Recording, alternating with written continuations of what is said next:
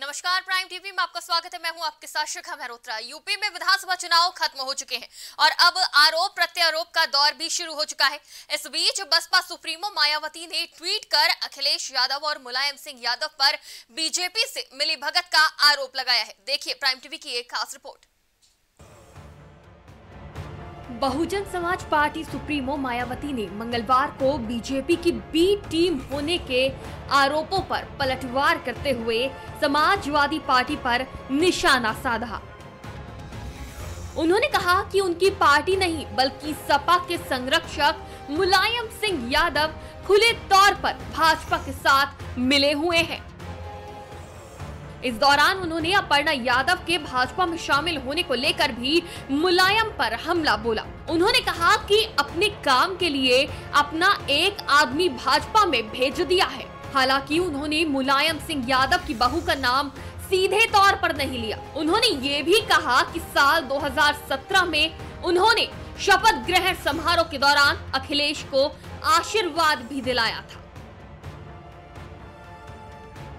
मायावती ने ट्वीट कर लिखा, बीजेपी से बसपा नहीं, बल्कि सपा संरक्षक मुलायम सिंह खुलकर मिले हैं, जिन्होंने बीजेपी के पिछले हुए शपथ में अखिलेश को बीजेपी से आशीर्वाद भी दिलाया है और अब अपने काम के लिए एक सदस्य को बीजेपी में भेज दिया है।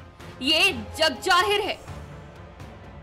उत्तर प्रदेश की पूर्व मुख्यमंत्री मायावती ने सपा पर निशाना साधते हुए ट्वीट किया। यूपी में अंबेडकरवादी लोग कभी भी सपा मुखिया अखिलेश यादव को माफ़ नहीं करेंगे। जिन्होंने अपनी सरकार में इनके नाम से बनी योजनाओं व संस्थानों आदि के नाम अधिकांश बदल दिए, जो अति निंदनीय व शर्मनाक भी है। बता दें कि बसपा को अक्सर विरोधी दल द्वारा बीजेपी की बी टीम कहा जाता है। विधानसभा चुनाव के दौरान केंद्रीय गृह मंत्री अमित शाह की टिप्पणी के बाद इसे लेकर विपक्षी पार्टियाँ और आक्रामक हो गई। शाह ने कहा था, बसपा ने अपनी प्रासंगिकता बनाए रखी है। मुझे विश्वास है कि उन्हें वोट मिलेगा। मुझे नहीं पता कि ये कितनी सीटों में तब्दील होगा, लेकिन इसे वोट मिलेगा। मायावती ने बाद में शाह की सराहना भी की थी, जिसके बाद आपसी मेलजोल की अटकलें भी तेज हो गई थी, जिसे अब बसपा सुप्रीमो मायावती नकारती नज़र आ रही है।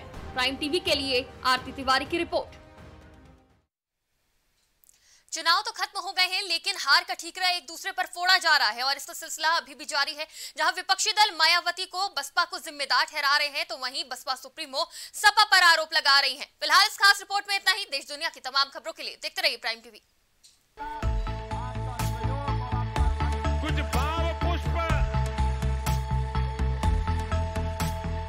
आप देख रहे हैं प्राइम टीवी सच साहस सरोकार।